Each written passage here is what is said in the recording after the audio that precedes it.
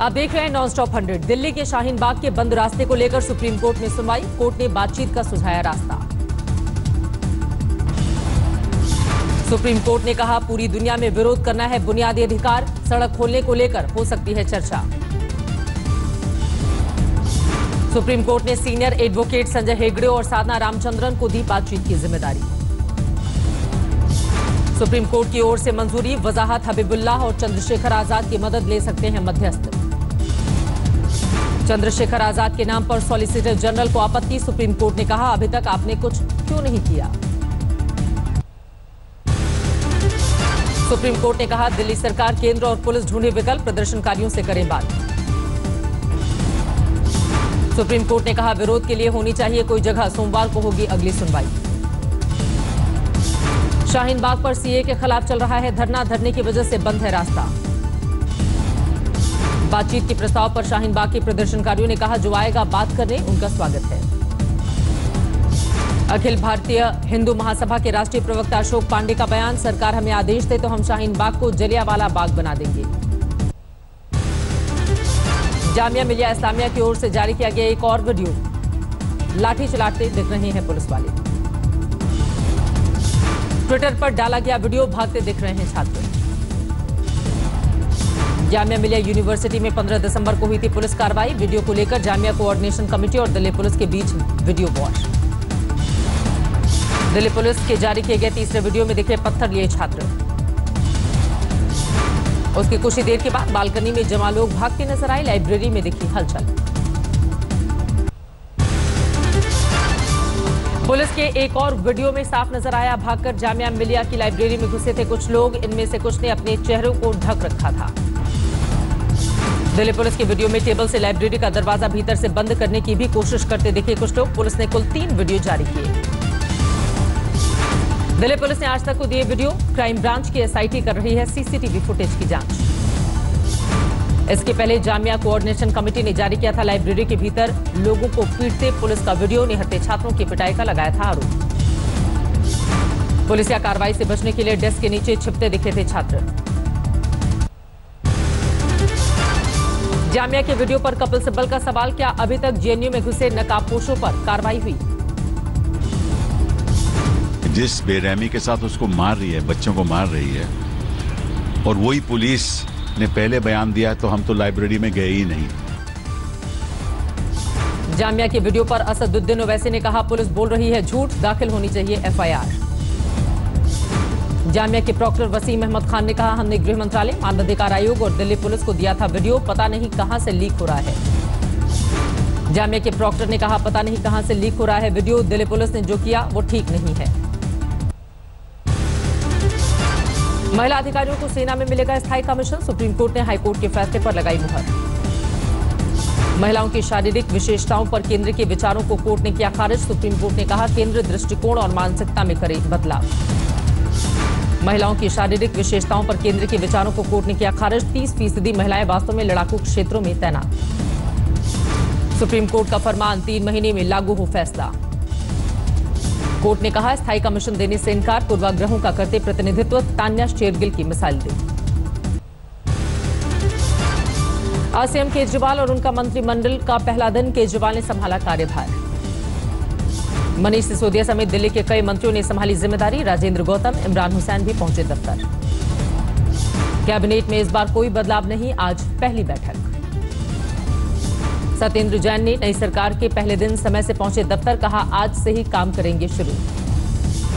नई पारी को लेकर मंत्रियों ने जताया संकल्प, गारंटी कार्ड जारी करना पहली प्राथमिकता। जामिया हिंसा में घायल हुए एक छात्र ने दो करोड़ रुपए के मुआवजे की मांग की, हाईकोर्ट का दरवाज़ा खटखटाया। छात्र का दावा, पुलिस के एक्शन में उसके दोनों पैर टूटे, लाखों का हुआ खर्चा। दिल्ली हाईकोर्ट ने केंद्र सरकार, दिल्ली पुलिस और दिल्ली सरकार से मांगा जवाब। दिल्ली के गार्गी कॉलेज की सीबीआई जाँच की याचिका पर दिल्ली हाईकोर्ट ने जारी किया है नोटिस, सरकार, सीबीआई और दिल्ली पुलिस ने मांगा जवाब। महाकाल एक्सप्रेस के एक कोच में भगवान के लिए सीट रिज़र्व करने की खबर पर आईआरसीटीसी ने कहा, किसी रेलवे कर्मचारी ने लगाई थी तस्वीर। ओवैसी ने ट्वीट कर जताया था, विरोध कल पीएम ने महाकाल एक्सप्रेस को दिखाई थी हरी झंडी। इलाहाबाद हाईकोर्ट का फैसला, सीएए के विरोध में प्रदर्शन के दौरान हुए नुकसान की भरपाई के लिए जारी हुई वसूली पर नोटिस पर रोक। सार्वजनिक संपत्ति को हुए नुकसान को लेकर एडीएम सिटी कानपुर ने जारी की थी नोटिस, याचिका में सुप्रीम कोर्ट की गाइडलाइन का हवाला। कानपुर देहात के गजनेर में हुए दलितों के ऊपर हमले को लेकर दलित संगठन के लोगों ने दिया धरना, जल्द आरोपियों की गिरफ्तारी की मांग की। हरिद्वार में गंगा के लिए अनशन पर बैठी साध्वी पद्मावती की सेहत बिगड़ी, दिल्ली एम्स के लिए भेजा गया। मथुरा में बिजली के तारों में लगी भयंकर आग, आसपास के इलाकों में अफरा तफरी। झारखंड विकास मोर्चा का बीजेपी में विलय, अमित शाह भी रहे मौजूद। अमित शाह ने कहा 2014 से ही मैं बाबूलाल मरांडी को लाना चाहता था बीजेपी में। समाजवादी पार्टी का बीजेपी पर बड़ा आरोप, अखिलेश यादव की हत्या कराना चाहती है सरकार यह आरोप लगाया। यूपी विधानसभा में विपक्ष का हंगामा, स्थगित करनी पड़ी कार्रवाई। भारतीय एयरटेल ने दूरसंचार विभाग को दस हज़ार करोड़ रुपए का भुगतान किया। एडजस्ट, एडजस्टमेंट ग्रॉस रेवेन्यू का पैसा था बकाया राम मंदिर के लिए चंदा कौन लेगा? ये तय करेगा श्री राम जन्मभूमि तीर्थ क्षेत्र न्यास। 19 फरवरी को दिल्ली में होने वाली है बैठक, दूसरे संगठनों की भूमिका पर विचार। रामालय ट्रस्ट ने शुरू किया स्वर्ण संग्रह अभियान। इस ट्रस्ट की अगुवाई करते हैं द्वारका के शारदा पीठाधीश्वर जगत गुरु शंकराचार्य स्वामी, स्वरूपानंद सरस्वती। अभियान का सूत्र वाक्य है, एक ग्राम स्वर्ण दान यानी हर एक ग्राम पंचायत एक ग्राम सोना दान करे। इस अभियान को लेकर श्री राम जन्मभूमि तीर्थ क्षेत्र न्यास के सदस्य नाराज़ चंदा न्यास को ही मिलना चाहिए ताकि तय हो ज़िम्मेदारी। मेरठ में सीए के समर्थन में केंद्रीय मंत्री गिरिराज सिंह का धर्म संवाद, कहा, जो कट्टर है, उससे मेरी टक्कर है। गिरिराज सिंह ने पाकिस्तान को सीए जैसा कानून बनाने की नसीहत दी। असदुद्दीन ओवैसी के भाई अकबरुद्दीन पर बरसे मुगलों को बताया लुटेरा और भगोड़ा। योगी सरकार के पूर्व मंत्री ओम प्रकाश राजभर का बयान, ऐसा अड़ियल रुख रहा तो देश से खत्म हो जाएगी सत्ता। मध्य प्रदेश के शिवपुरी में हैंडपंप से पानी भरने को लेकर दलित परिवार और वन कर्मचारियों में झगड़ा, फायरिंग में एक दलित की मौत। पानी की छींटे पड़ने को लेकर शुरू हुआ था झगड़ा, मृतक के भाई को पैर में लगी गोली, पंद्रह लोगों पर एफआईआर। अमेरिकी राष्ट्रपति डोनाल्ड ट्रंप के भारत दौरे से पहले बदला आयोजन का नाम, अब केम छो की जगह, नमस्ते की एंट्री। ट्रंप 24 फरवरी को दो दिवसीय भारत दौरे पर जाएँगे, पहुँचेंगे Ahmedabad. Donald Trump PM Modi के साथ अहमदाबाद रोड से साबरमती आश्रम तक सात किलोमीटर तक भव्य रोड शो में करेंगे शिरकत। मोटेरा क्रिकेट स्टेडियम का उद्घाटन में शामिल होंगे प्रधानमंत्री और ट्रंप, दोनों जनता को करेंगे संबोधित। राष्ट्रपति ट्रंप के साथ मौजूद रहेंगी फ़र्स्ट अमेरिकी लेडी मेलानिया 24 फरवरी को आगरा में ताजमहल का करेंगी दीदार। सरहद पार आतंकवाद पर पाकिस्तान को संयुक्त राष्ट्र महासचिव की फटकार, पाकिस्तान को ठोस कदम उठाने की दी हिदायत। संयुक्त राष्ट्र प्रमुख एंटोनियो गुटरेस की नसीहत, सैन्य कार्रवाई और बयानबाजी में भारत पाकिस्तान बरते अधिकतम संयम। भारत ने खारिज की एंटोनियो की पेशकश, द्विपक्षीय मुद्दा खुद सुलझा लेने की बात कही। आतंकवाद को खाद पानी देने वाले पाकिस्तान पर मंडराया ब्लैकलिस्ट होने का खतरा, सऊदी अरब में जारी एफएटीएफ की बैठक में कभी भी आ सकता है फैसला। 21 फरवरी तक जारी रहेगी एफएटीएफ की बैठक। इसके पहले चीन अमेरिका के सामने गिड़गिड़ाए पाकिस्तान के पीएम इमरान खान। मध्य प्रदेश में सीएम कमलनाथ के मंत्री का कर्ज माफ़ी पर ज्योतिरादित्य सिंधिया को जवाब का हवाले पूरा करने में लगता है वक्त। हिमाचल के कुल्लू में स्वास्थ्य सुविधाओं की खुली पोल, बीमार महिला को 30 किलोमीटर तक बल्लियों के सहारे कंधे पर लाद कर लाई।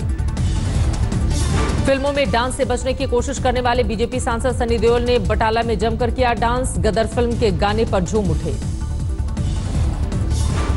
कुल्लू के गुलाबा में मनाली ले हाईवे पर अब तक जमी है बर्फ़ की मोटी परत, मशीन से हटाई जा रही है बर्फ़। केदारनाथ में हर तरफ़ बिछी है बर्फ़ की मोटी परत, अप्रैल में शुरू होगी यात्रा, प्रशासन ने लिया है जायजा। मुंबई में जीएसटी भवन में आग, दमकल की गाड़ियाँ मौके पर। लुधियाना में फाइनेंस कंपनी में 30 किलो सोने की लूट सीसीटीवी में कैद हमलावर। यूपी के लखीमपुर में गन्ना सर्वेक्षण के नाम पर अवैध वसूली, वीडियो वायरल। कश्मीरी युवक ने लगाया आरोप, पहचान की वजह से उसे दिल्ली के ओयो रूम में चेक इन की इजाज़त नहीं। नोएडा के ब्लू बर्ड सोसाइटी में काम करने वाले लोगों का प्रदर्शन, सफ़ाई कर्मी की मौत से नाराज़। ग्रेटर नोएडा की एलिगेंट विला सोसाइटी की बिल्डिंग में लगी आग, इलेक्ट्रिक बोर्ड में शॉर्ट सर्किट। राजस्थान में परिवहन विभाग में एंटी करप्शन की बड़ी कार्रवाई, आठ अधिकारी और सात दलाल पकड़े गए। दिल्ली एयरपोर्ट पर पकड़ी गई 42 लाख की करेंसी, इत्र की शीशियों में छुपा कर ले जाने की कोशिश।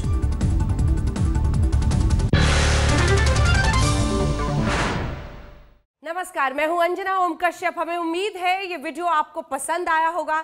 लेटेस्ट खबरों के लिए यूँ ही देखते रहिए आज तक और इस वीडियो के पसंद आने पर लाइक शेयर एंड सब्सक्राइब करना ना भूलें।